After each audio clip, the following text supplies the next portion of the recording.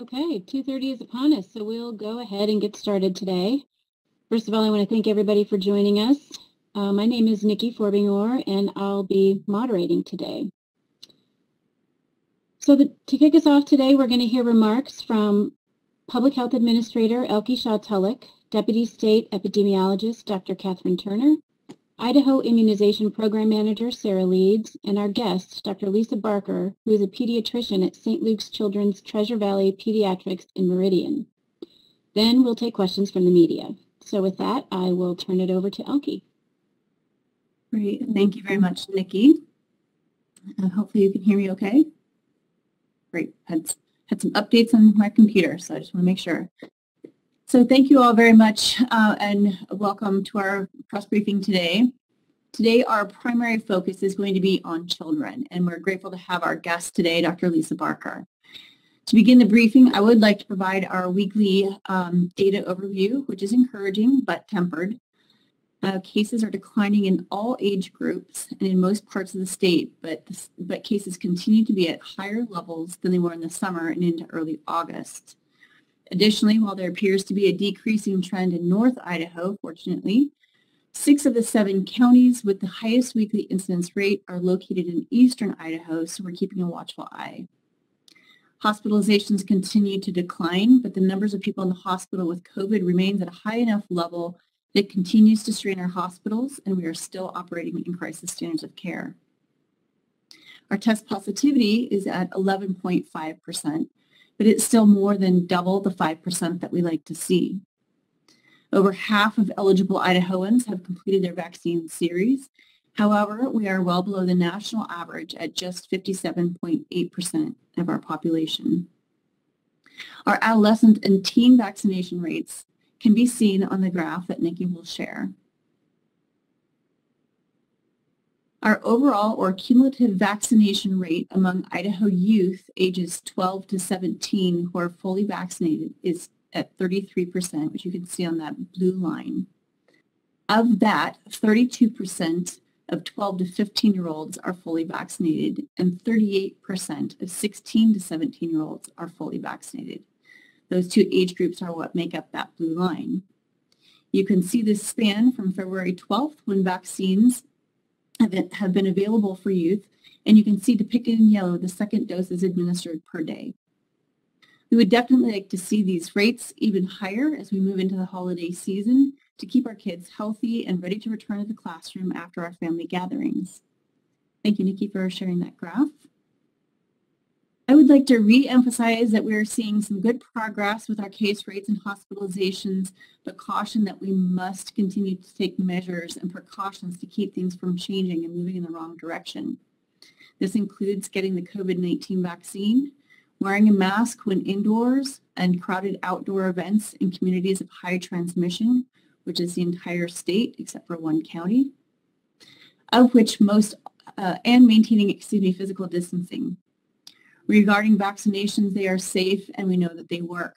People who are vaccinated are nearly five times less likely to be hospitalized for COVID if they become infected, and they're nearly four times less likely to become infected in the first place. I'm encouraged to hear about people who are making the decision every single day to get a vaccine, even at this stage of the pandemic. I want to stress that it's not too late to get your first, your second dose, or your booster dose if you're eligible. You have the chance to protect yourself and your loved ones in time for the holidays. So this brings me to the next great opportunity for protection against the ongoing risk of COVID, which is the approval of a COVID-19 vaccine for children ages 5 to 11. Our next speakers will be discussing this in further detail. And my last note before I turn this over to Dr. Turner is that we will be changing the posting dates of our case investigation data to be Monday through Saturday. No data will be posted on Sundays because we are not receiving reports from health districts on Sundays uh, to the fullest extent, um, causing the numbers on our site to appear lower than they actually are. So we want to make sure that our data are uh, as completely up to date as possible for you. So with that, I will turn it over to Dr. Turner. Thank you, Elke, and good afternoon, everyone. Um, I'm going to take just a few moments and talk a little bit about um, cases among Idaho children. And to do that effectively, I am going to um, display some data. Uh, Nikki, I do not have sharing permissions. Do you think you could display the graph? Oh, Nikki has all of the power and was able to give me permissions.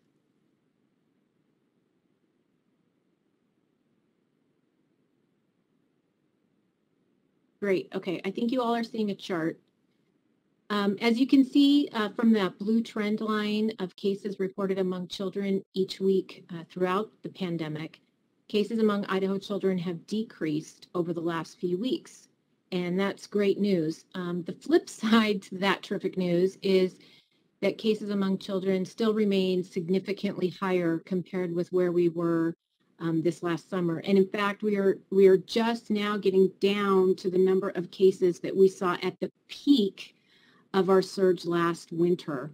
So that gives us some indication that we still need to go down quite a bit, even though we have decreased significantly. And as of Saturday, just over 250 Idaho children have had to be hospitalized for their illness since the start of the pandemic. One third of those hospitalizations have occurred in the last three months. Um, in addition, 37 Idaho children have developed a post-infection complication that's called multi-system inflammatory syndrome. This is, um, you'll see it abbreviated as MIS-C or MISC. Those cases are represented by the bars on the chart that you're looking at right now. Um, this, this syndrome, in this syndrome, different organs in the body become very inflamed, and this can include vital organs such as the heart and the brain. And the symptoms start about two to six weeks after an acute infection with the virus that causes COVID-19. So what we see is um, that the um, reports of MISC that are being diagnosed by physicians uh, sort of lag behind the peak in cases that we see among children. Um, the average age of Idaho children diagnosed with MISC is about eight and a half years, um, which is right in line with what um, other states in the U.S. are seeing. And more than half of the children with the syndrome end up becoming so ill that not only are they hospitalized, that they require care in the intensive care unit. I'm going to stop sharing my screen. Um, so you'll be getting some updates from Sarah Leeds about pediatric vaccine rollout for 5 to 11 year olds, um, but I was hoping to prime you for that discussion and sort of um, quantify the burden of COVID-19 in that age group. Right now, roughly 7% of the COVID-19 cases reported each week during October were among children um, between the ages of 5 and 11. So while things are looking up right now and we are seeing declines in cases, there's certainly an opportunity to um, for improvement and to provide additional protection to children and adolescents. And with that, I will turn it over to Sarah Leeds. Thank you, Dr. Turner. So today's an exciting day for us in the immunization program as we are expecting a recommendation from CDC's advisory committee for the Pfizer BioNTech pediatric COVID-19 vaccine for children ages 5 to 11 years old. This is, a, this is a significant step forward in our ability to prevent COVID-19 illness in children. We are also anticipating either later this afternoon or evening that the CDC director, Dr. Rochelle Walensky, will make the advisory committee's recommendation official. And if that doesn't happen today, we expect that Dr. Walensky's recommendation would come out tomorrow. Whenever that final CDC recommendation is issued, it means that providers will have the guidance needed to begin administering COVID-19 vaccine in children ages 5 to 11 years old. Like the Pfizer BioNTech COVID-19 vaccine for people aged 12 and older, 12 years and older, the two doses are administered at least 21 days apart. However, the pediatric vaccine for 5 to 11 year olds is a different formulation and doses, it's a different dose size as well um, than the vaccine for children 12 to 12 and older, for people 12 and older. Um, and it requires different storage and handling practices. So providers are advising that parents should expect that appointments for COVID-19 vaccines for 5 to 11 year olds may not be available until next week or at least later this week, um, as it takes a few days for them to receive their inventory, finalize their clinic procedures, and train their staff on the pediatric COVID-19 vaccine administration. The Idaho, the Idaho Immunization Program continues to work with all of our enrolled COVID-19 vaccine providers and our local public health districts on pediatric COVID-19 vaccination efforts. In collaboration with our local public health districts last week, we pre-ordered pediatric vaccines in three waves. Our first and second waves of pre-orders totaled 36,900 doses. And we know that 23,400 doses have been shipped by the manufacturers to Idaho providers and our public health districts, and that 11,400 doses were delivered today. In that first wave of orders, uh, pharmacies that are participating in the Federal Pharmacy Partnership Program, which are mostly large chain pharmacies, they did not receive shipments. They will, however, have inventory tomorrow or later this week. The remaining doses from Idaho's um, waves two and three pre-orders will be shipped throughout this week. We expect that all of Idaho's pre-ordered pediatric vaccine orders to arrive in Idaho uh, no later than November 8. We continue to work with each of our local public health districts as they redistribute many of the shipments of vaccines. These redistribution efforts are necessary because the minimum shipment of pediatric vaccine is 300 doses in this pre-order. Um, so our local public health districts are redistributing smaller amounts of uh, doses to many of the providers in their region. And finally, um, to, to find a vaccine uh, near you, a location near you um, that has pediatric doses, please contact your child's pediatrician. You can also visit vaccines.gov and or you can call your local public health district. And now I'll hand it over to Dr. Lisa Barker.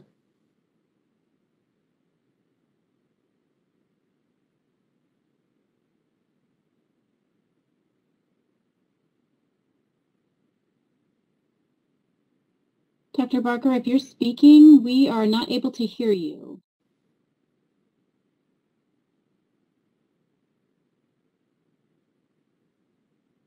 I am getting my video connected. There we go. There we go. Hi, everyone. Thanks, Sarah.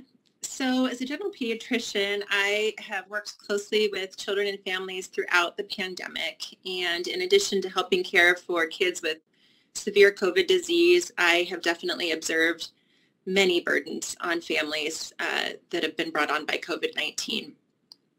We've been particularly busy in the last few months as we've seen a rise in cases in young children with the surge in Delta virus. So it's been a bit of an interesting adventure. Um, it's really important to know that kids are not spared from the harm of COVID-19. Um, although severe disease is less common in this age group, we've seen over 8,000 children ages 5 to 11 hospitalized during the pandemic. Additionally, more than 5,000 children have been diagnosed with MIS-C, which has been discussed already. And this, again, is a kind of severe multi-system inflammatory disease that uh, can make children very sick in the few weeks following what looks like a very mild COVID uh, disease. I cared for one young boy who had a very mild illness um, and then came back to the office four weeks later extremely sick and like many kids with MIS-C required hospitalization and extensive treatment.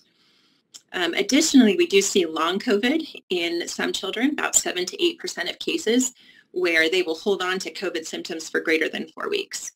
So it's not, it's not a, a no issue for these, this age group. Uh, vaccines have really emerged as the most important tool we can use to prevent severe COVID disease.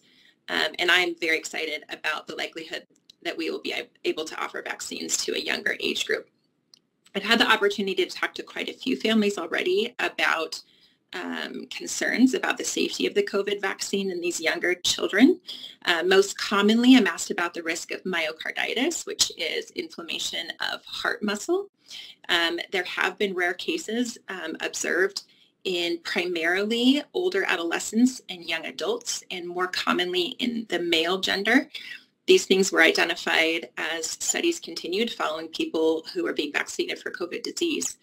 Um, luckily, these cases have been shown to be mild and primarily self-resolving. And the data to date in the younger population has not shown this same risk. it's something that they will continue to monitor closely. And it's really important to remember that studies also show that COVID disease and MIS-C, for that matter, have a much higher risk of myocarditis associated with them, and the myocarditis that happens tends to be more severe. Um, so I'm excited. I'm excited about the clinical data um, that's coming out of the, the trials, and I'm really hoping that we'll be able to start offering this vaccine to our younger age group uh, in the next week to two. Thanks, Dr. Barker. Um, before we take questions from the media, I want to make sure I remind everyone that we do have American Sign Language interpretation available today. If you search for interpreter stubs and hover over the three little dots in the window, you can lock it in place. So with that, we will now take questions from the media. Please raise your hand in WebEx or type your question into the chat area. And when I say your name, um, go ahead and unmute yourself and announce your name and media outlet before asking your question. And then uh, please remember to clear your hand when you're done. Um, our first question today is going to come from Melissa Davlin. Thanks, Nikki. I was wondering about the distribution of um, the vaccine, assuming that everything goes as planned, the distribution across the state. Are you going to base it on population or are you going to look at the adult intake district by district and um, maybe make some assumptions based on that. Yeah, thanks, Melissa. I'm going to have Sarah Leeds field that question. Thanks, Elke. Yeah, so this is where our, our collaboration with our local public health districts really comes into play. Um, 63% of our pre-ordered vaccine that is coming into Idaho this week um, is going to be redistributed. And so we are continuing to work throughout the week with where those doses get redistributed. And um, they are making those decisions in collaboration with the pediatric providers in their region. And um, and so at this point I don't have the exact total but but we're working to ensure that this initial phase of ordering this week is distributed as is distributed as widely as possible.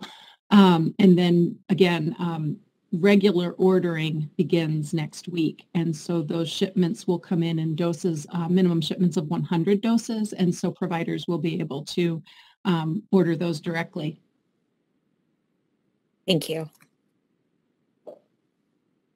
Okay, our next question is going to come from Betsy Russell. Thank you. I'm Betsy Russell with the Idaho Press. I'm not sure who to direct this question to, but I'm wondering what have you all been hearing from Idaho parents about their willingness or their interest in getting their kids vaccinated with this very soon to be newly approved vaccine? Great, thanks, Betsy. And um, I'm going to turn that over to Dr. Barker since she's the ears on the ground seeing patients and families right now. She wants to give us her perspective. So unfortunately, I tend to hear from the primarily positive because people are excited and they want to know about it. So I hear less from the folks who are less excited. Um, but I am a parent of young children. Both of my kiddos are in the 5 to 11 age group. So I have a little bit of perspective from both working as a pediatrician as well as being a fellow parent in the uh, elementary age group. And I mean, in general, I feel like there's a positive um, and excitement about it, a positive mood about it.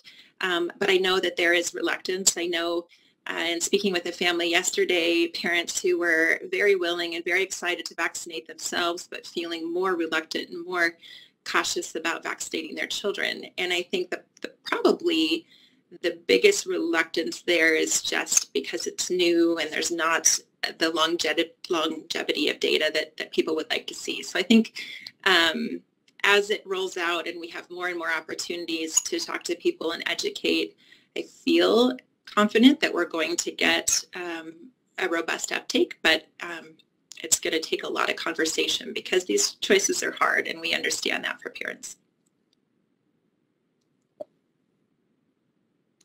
All right, thank you. Um, our next question is going to come from Audrey Dutton. Hi, Audrey Dutton from the Idaho Capital Sun. Can you hear me? Mm -hmm. Yes. Great. Um, this question is uh, for, I think, probably um, Sarah Leeds. Uh, what's the timeline right now for the under fives for vaccination? Um, I'm, you know, hearing and reading all kinds of different things. What what's kind of the expectation there? Um, Audrey, that that is a question I really don't have the answer to right now.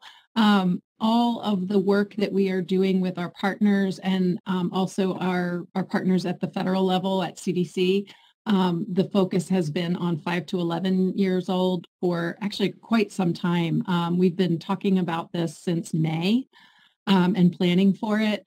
And, um, and we have not had conversations really um, at in terms of what what distribution would look like and when when that might happen. So I really don't have an answer uh, for that right at this moment, and I don't know if anyone else on our team might. Let's see if uh, Dr. Hahn might have anything to add.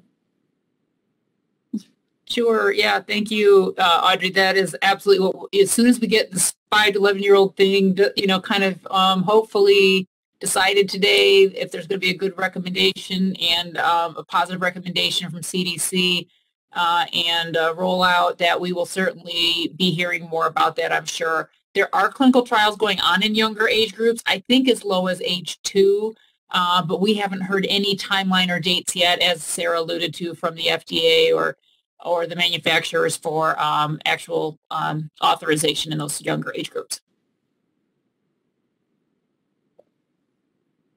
All right, our next question is going to come from Brenda Rodriguez. Hi everyone, my name is Brenda Rodriguez. I'm with KTVB Channel 7.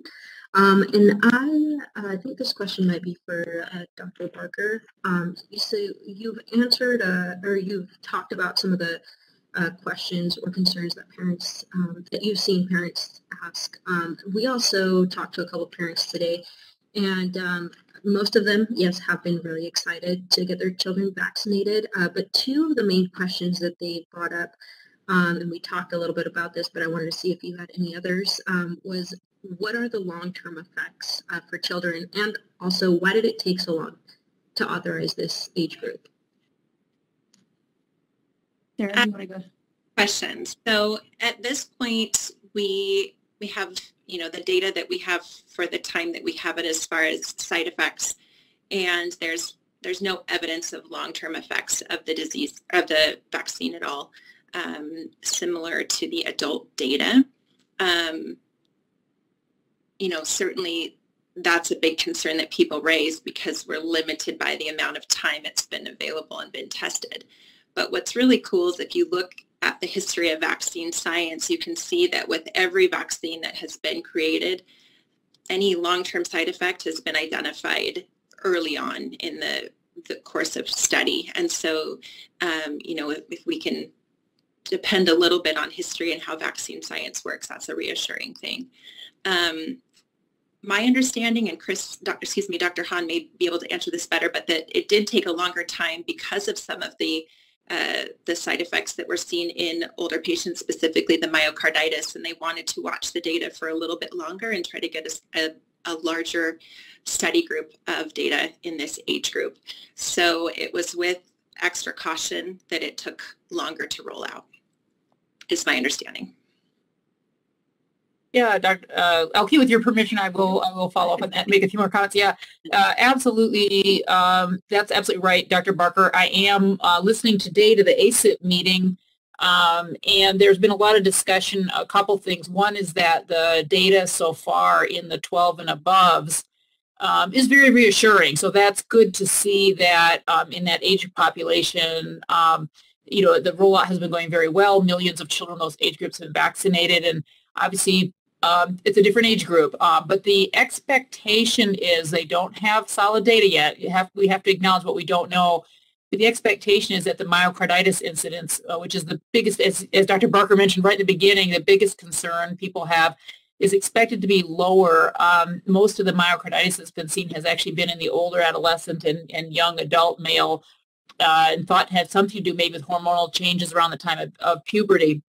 So younger children are actually you know, the, the, the scientists believe that, that we'll see less of that. Now, it hasn't been seen, but the studies, you know, we're not, we haven't vaccinated millions of children in that age group, so we, we can't say that for sure. So, and as you mentioned, sorry, Dr. Barker, also, uh, yeah, they have enrolled, like Moderna, for example, is enrolling additional children. They, they are working hard to get enough children um, enrolled so that everyone is confident uh, as best they can in the results. And, you know, people want to get this out in time to help, but nobody wants it to feel rushed to the point that they don't have the right data. It's a very, very difficult balance. All right, thanks, Dr. Hahn. Um, our next question is going to come from Hayat Norimine. Hi, um, I hope you can hear me okay. Uh, Yes. my, question, my question relates to um, MISC. Is there any pattern of children who have a, a propensity for it? Um, and, and could you give us a better picture of what it looks like when children are hospitalized with it, what symptoms they have? Yeah, maybe I'll um, turn to Dr. Turner first and then followed by um, Dr. Barker. I'm grabbing the right people to respond. Yeah, thanks, Elke. Um, Hayat, um, I guess um, your question about characteristics of these children, they're um, otherwise healthy kids for the most part. Um, we have not seen um, any um, difference in, you know, um, ethnicity, um, geogra- geography, anything like that. Typically, these are otherwise healthy children that develop these symptoms after an acute infection, but um, Dr. Barker's a clinician, so I'll turn it over to her to to sort of talk through what these these kids' um, symptoms look like.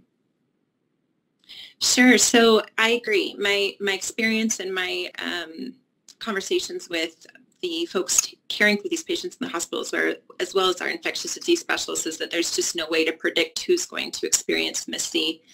Um, aside from we just know it's a higher risk in this 5 to 11 age group, and that's really the only thing we've been able to identify thus far. Um, as an example, the little guy that I cared for was six years old. He had a very, very mild COVID disease where he had a mild fever and some upper respiratory like coughing and runny nose for a few days, was back to his normal state of health, and then about four weeks later came in with um, just sort of head to toe symptoms. So prolonged fever for several days that was reaching high levels, very red eyes, um, full body rash, very fatigued, obviously very uncomfortable. And when you look at his laboratory studies, you see evidence of inflammation throughout the body, elevated liver enzymes, um, elevated inflammatory markers that suggest kind of widespread inflammation. Um, and so these kiddos, in, for the most part, require support in the hospital with medications that help boost their immune response to this disease. Um, and so it does, and then some of them require additional support, but it's a, it's just a very interesting inflammatory response that we're still trying to understand in this age group. But it's not, uh, you know, we've seen, we see similar things. Um, Kawasaki's disease is, is an example of something similar that we still are trying to figure out what usually triggers that. We think it's probably some sort of viral illness, but we, we often don't identify what the trigger is, but it's a very similar type of process. So it's just important to recognize that the viral illness by itself is not the only danger to these little guys. And this is actually the bigger concern. And then the concern of sort of the long-term potential effects from those changes as well.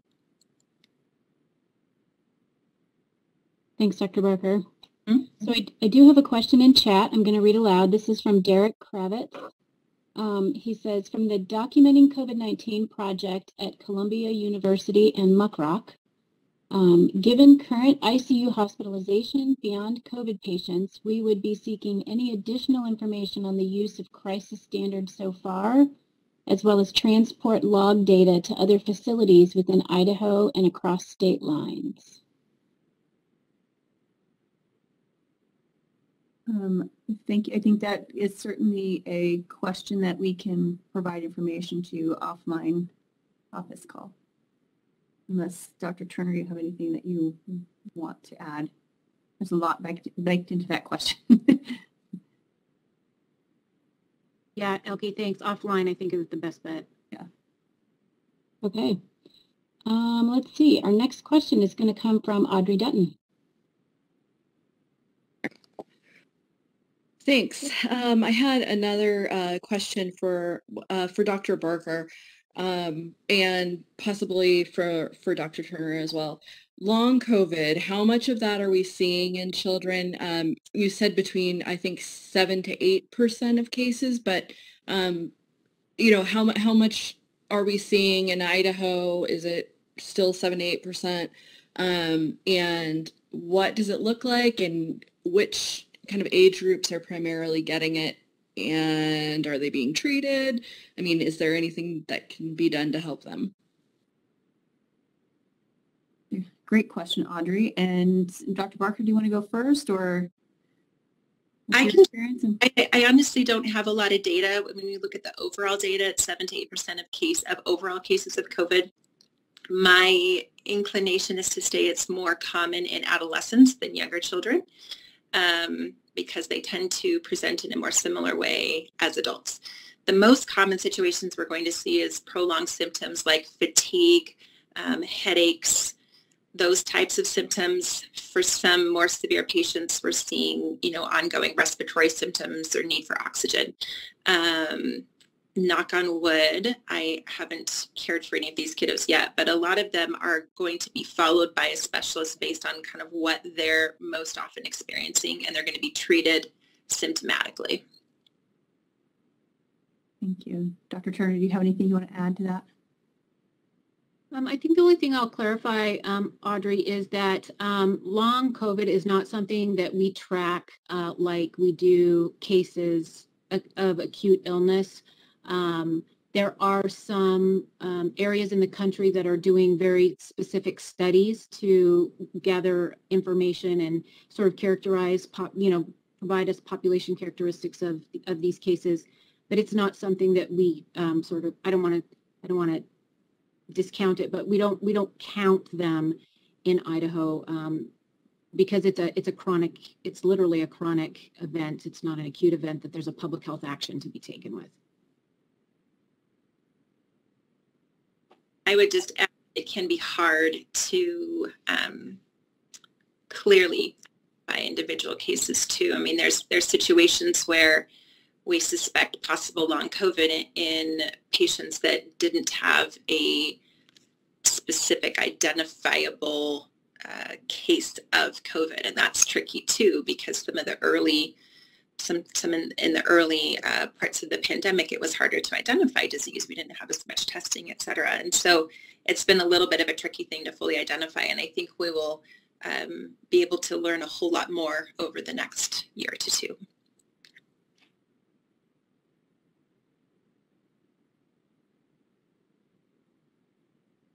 Nikki, you're on mute. I muted myself and then started speaking. That's awesome.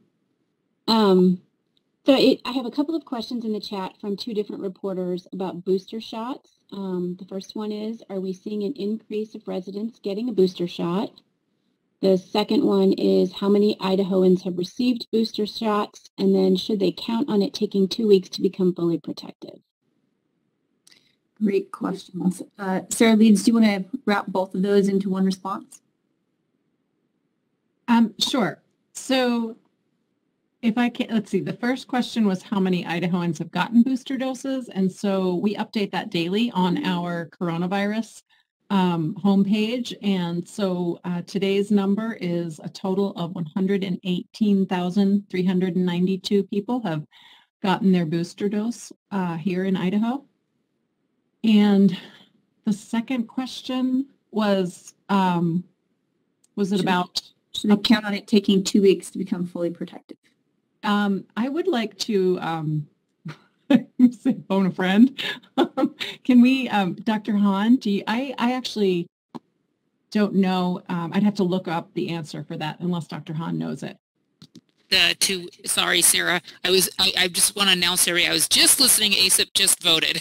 so they just recommended the, um, or just, just passed like literally seconds ago. So anyway, so I was just transferring back over, Sarah. Was it the question about the two weeks to become fully protected, the last question? From the yeah, yeah, I, yes. I mean, it, it actually probably will be a little faster, right? You know, when our immune system is being boosted and it's kind of remembering stuff, it actually um, that's the beauty of it, right? The second time around, it's like, oh, I remember this. So actually, it probably is shorter, but uh, you know, to be um, to be safe, uh, we're recommending it. Hey, if you're if you're going to be at a big gathering, you're traveling for the holidays, uh, go ahead and get that booster at least two weeks ahead of time just to be on the safe side. But in in reality, um, most studies have shown that booster responses are actually a little quicker. All right, thanks, Dr. Hahn. Our next question is going to come from Rachel Cohen. Hi, Rachel Cohen with Boise State Public Radio. Um, I was wondering if Dr. Turner, I believe, can give an update on the school testing programs and just of the schools that received funding or testing supplies. Do you know like about how many have their testing programs up and running now? Thanks, Rachel. Dr. Turner? Yeah, thanks, Rachel. So, um, yeah, well, it's different in every school, which is exactly why we started this program was to make sure that every school had the opportunity to design a program specifically for, for them. I can tell you that the schools that have received um, that the, the funding is available or the schools that have just needed testing supplies, um, and I say just, um, but they needed testing supplies to keep going. They have been having ongoing testing throughout um, there are some schools who are still in the um, kind of the planning phase and, you know, do we just do diagnostic testing now and then move into sort of a screening program? Um, there's also some schools that are looking for a contractor to come in and do full service. So I guess the short answer is that it's different in every school and different schools are at different places. It, it's not a matter of when they got the money it's it's more about what their infrastructure was to start and uh, where they are along that continuum of implementation. So there's no short answer for that.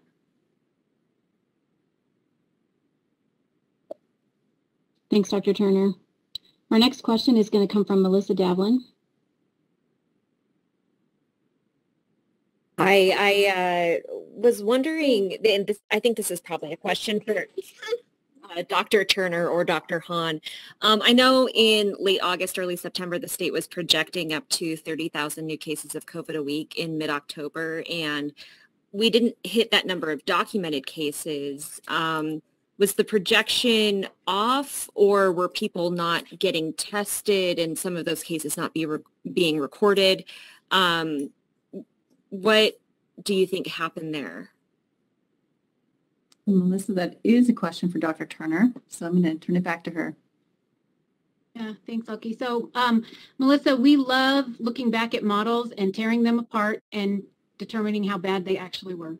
So that's the great thing about models is we can go back and um, critique them. I, the models that were being shown back in August were sort of the worst case scenarios, um, and we did not hit the worst case scenario, which um, knock on wood is, is great for all of us. You're absolutely right that the cases that are reported to public health are what we like to call the tip of the iceberg.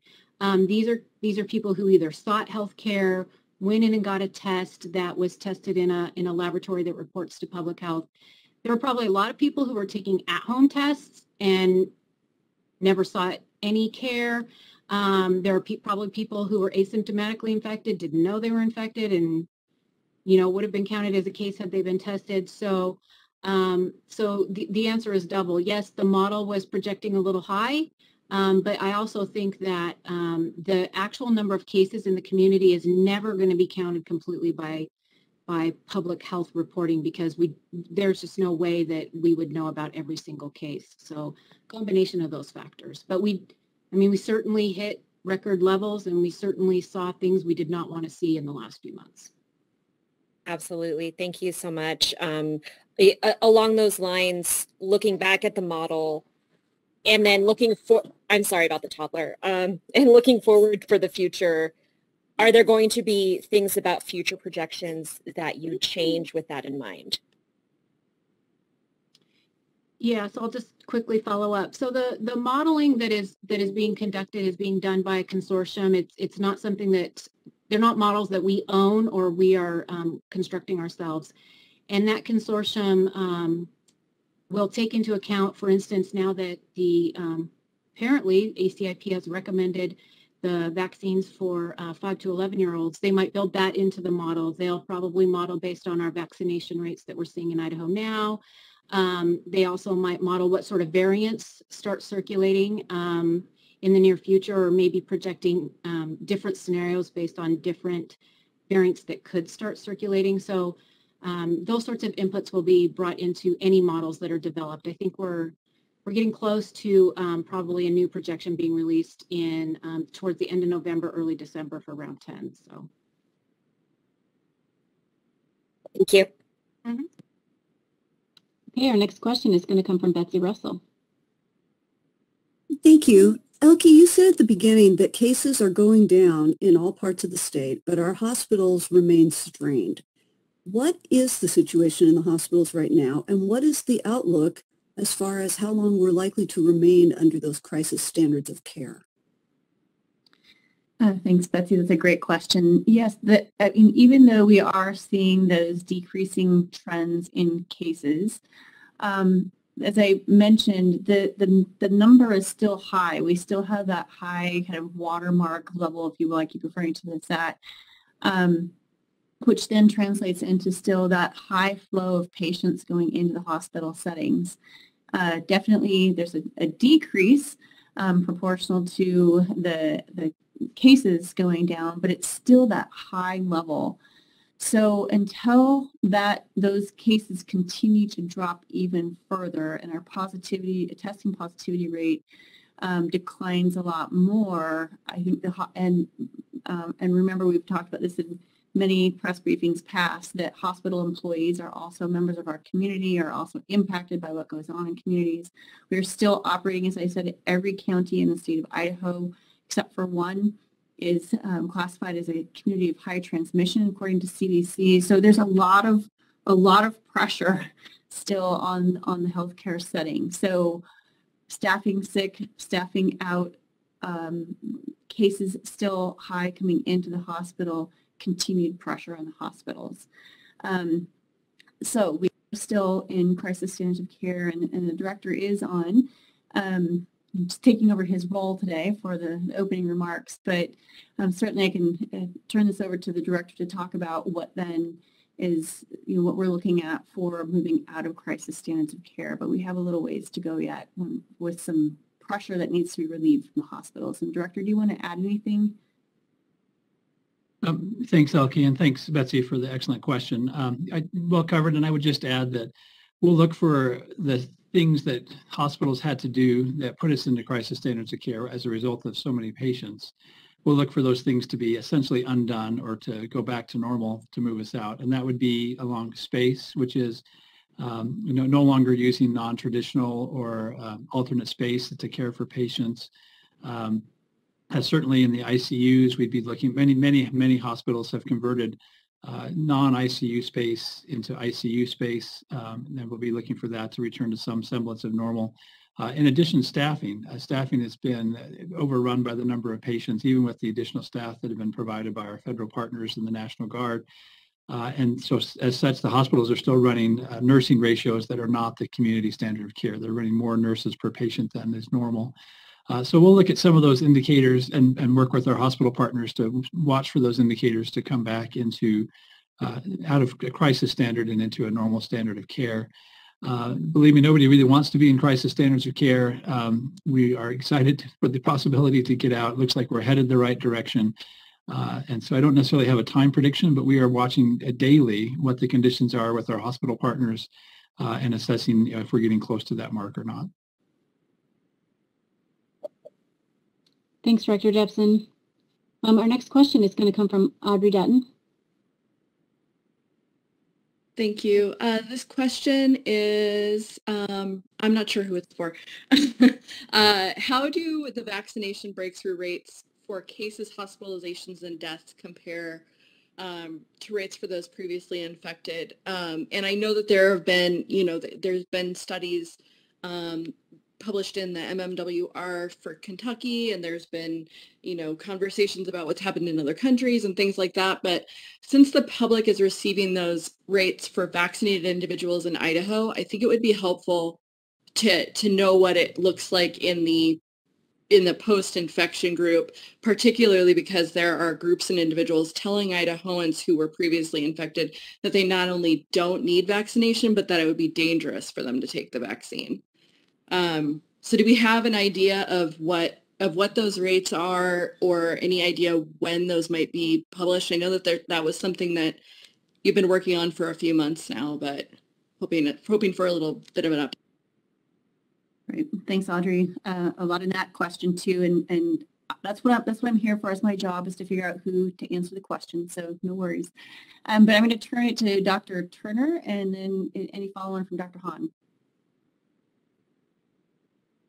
Thanks, Elke. So um, Audrey, a couple things. It's it's a little hard. So unlike the vaccine breakthrough cases where we say this person is infected and got their vaccine um, eligible dose at least two weeks ago. That's a pretty easy calculation. With reinfections, we have to not only look back and see, has that person been reported before? How long ago was it that they were reported? Could this be a case of viral shedding? Could they have some condition that's causing them to carry the virus longer?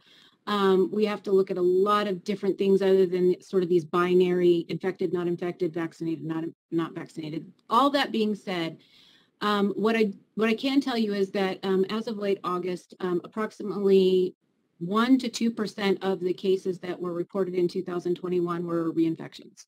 So no, people are not immune for life once they get infected, um, and that yes, there has been um, a study released just last week that indicated that um, actually, if you get vaccinated, you're you get better protection against hospitalization and severe illness than if you are um, just um, going off of natural immunity.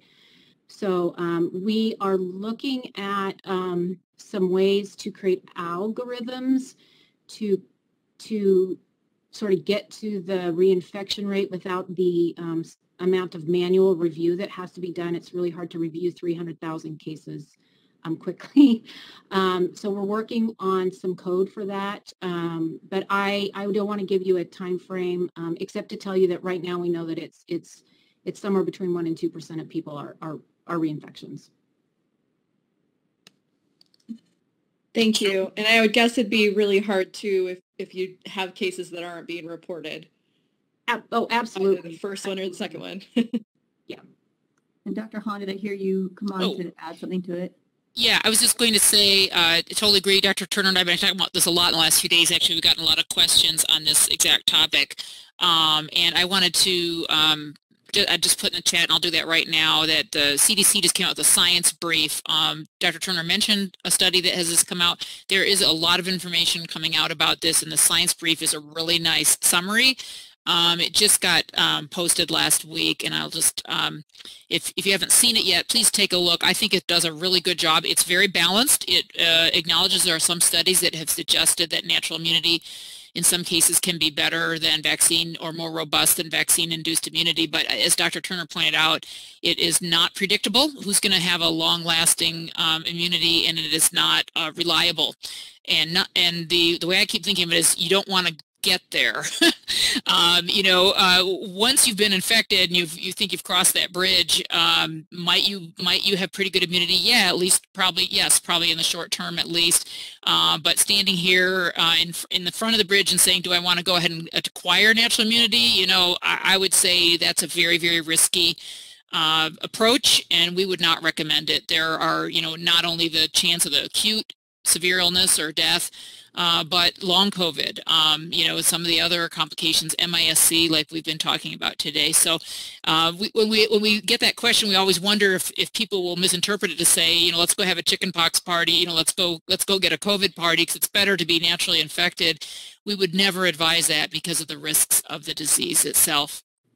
Um, and uh, once you once you've been infected, though, we acknowledge that there is at least uh, three to three to six months. You know, there's different uh, thinking on that, but there is at least a short-term protection that's pretty durable, uh, short-term, but probably not uh, long-term, and we wouldn't want anyone to count on that. All right, thank you. Um, Hayat, our next question is going to come from Hayat Norimine. Um, this is probably probably a question for Director Jeppesen. Um, could, could you tell us a little more about the process of getting out of crisis standards? How is it different than the way it was implemented? Um, are you going to be looking for direction from the hospitals to tell you when the state no longer needs to be in crisis standards? Thanks, Hayat. Director?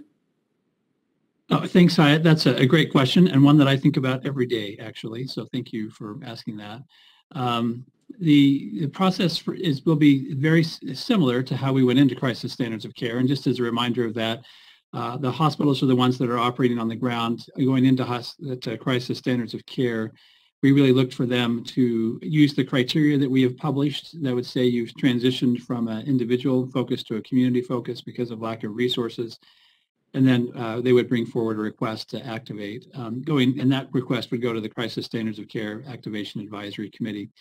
In the rule that we've published, um, coming out is just the reverse. So we would look for input from hospitals um, as to whether they're still in crisis standards of care or not.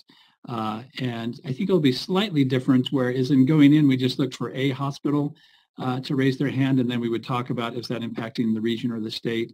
Uh, I think here we'll probably look at multiple hospitals to be letting us know uh, what their status is and where they are in, in the process of uh, having to, uh, you know, treat patients beyond the normal standard of care. So uh, we did have, we have had some conversation with the Crisis Standards of Care Activation Advisory Committee about what the criteria are that they'll be looking for to see if they're out of crisis standards of care. Uh, and really, I've described that earlier in this call. It's really just the reverse of what we saw coming in. Um, and so I won't re-describe that now. Uh, so I think we're all on the same page on that. So yes, we'll still rely on the hospitals for their input. Again, we're in contact with them literally every day uh, with what the situation is for each of them. Uh, and uh, when we think we're getting close to that point, we'll convene the Crisis Standards of Care Activation Advisory Committee, which I guess at that point should have been called the Deactivation Advisory Committee. Uh, they'll uh, we'll have a we'll have a debate about whether it's time or not. They'll make a recommendation, and then I'll make a decision if it's time or not. So that's the process to come out.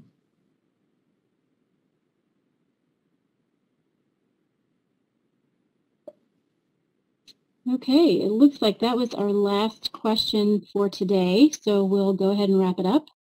Um, we are planning another briefing next week on Tuesday, November 9th at 2.30 p.m., so we'll see you all then. Thanks for joining us today.